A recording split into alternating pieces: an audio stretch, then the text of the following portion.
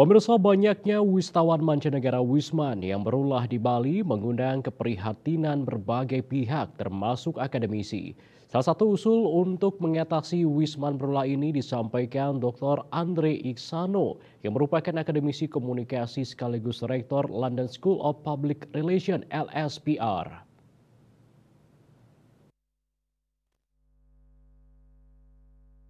Pihaknya mengatakan untuk menjaga budaya dan pariwisata Bali, warga negara asing WNA yang memegang permanen residen di Bali bisa menjadi pandu budaya bagi Wisman. Menurutnya, kondisi pariwisata Bali belakangan kurang kondusif karena banyaknya Wisman berulah.